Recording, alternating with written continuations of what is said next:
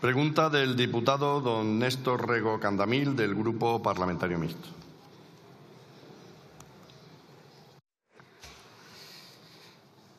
Bon día, presidente. Está o goberno disposto a impulsar o autogoberno da Galiza coa transferencia de todas as competencias pendentes, con donación de débeda e un sistema de financiamento xusto?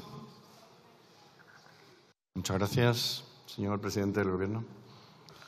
Muchas gracias, señor eh, presidente. Señoría, por supuesto, estamos dispuestos a desarrollar eh, el autogobierno en Galicia. Para eso hace falta también que, evidentemente, el presidente de la Junta de Galicia y su gobierno pues, eh, planteen estas cuestiones. En el segundo turno eh, de, esta pregunta pues, desarrollaré todas estas cuestiones, pero en lo que respecta al acuerdo de investidura entre su partido y, y el mío, pues evidentemente manifestarle el absoluto compromiso por cumplir todos aquellos aspectos que están incorporados en ese acuerdo de investidura.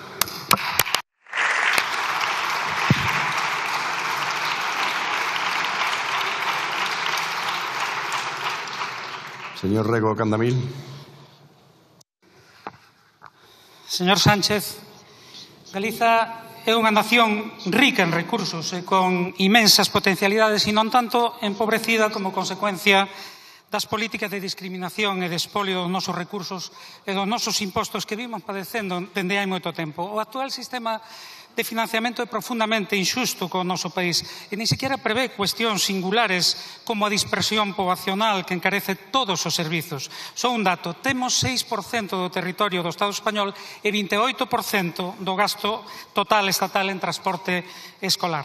Pero máis, datos de 2021 indican que nese ano a diferenza entre o que pagamos en impostos os galegos e galegas e o que recibimos do Estado situouse en 5.080 millóns de euros. 5.080 millóns que perdemos perdemos nun país que está a cola do Estado en indicadores socioeconómicos e de calidade eh, de vida. Por tanto, se alguén precisa dun sistema de financiamento singular, esa é Galiza.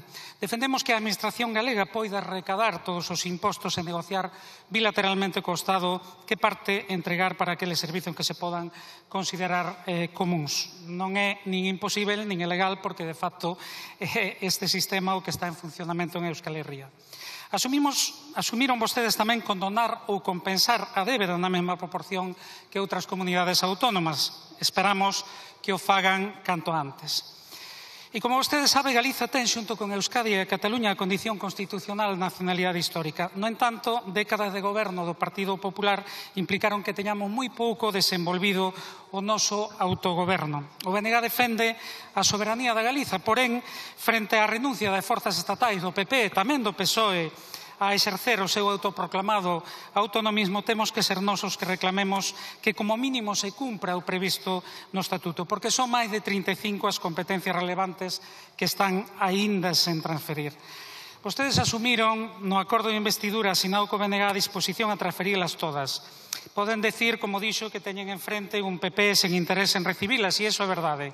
Mais, se poden porse de acordo noutras cuestións, como acabamos de comprobar, tamén o poden facer nesta. Na súa man está tomar a iniciativa necesaria. Muchísimas gracias, señor Musto. Tiene la palabra el señor presidente del Gobierno.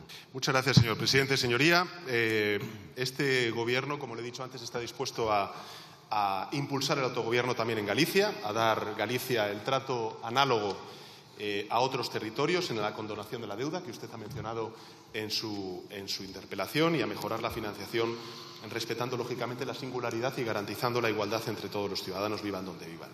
Y, en relación con, las transferencias, decirle que bueno, corresponde, como lo he dicho antes, a la Junta de Galicia el traspaso, o solicitar, mejor dicho, el traspaso de servicios y de funciones, porque los traspasos no, se imponen desde el Gobierno de la Administración General del Estado, sino que se negocian a petición de, la, de las comunidades autónomas. ¿no? Y la Junta ha solicitado recientemente el traspaso, como sabe usted, de funciones y servicios en materia de ordenación y gestión del, del litoral. El Gobierno lo que ha hecho ha sido reaccionar con celeridad, ya se está elaborando el informe correspondiente y ya hemos eh, comunicado a la Junta la disposición a elaborar una propuesta de traspaso y abrir negociaciones en caso de que el informe eh, sea favorable.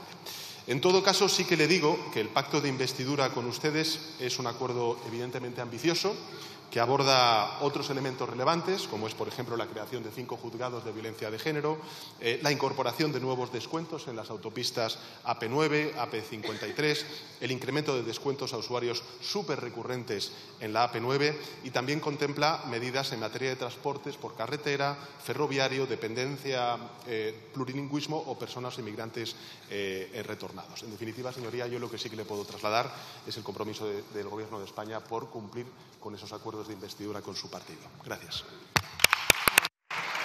Muchísimas gracias.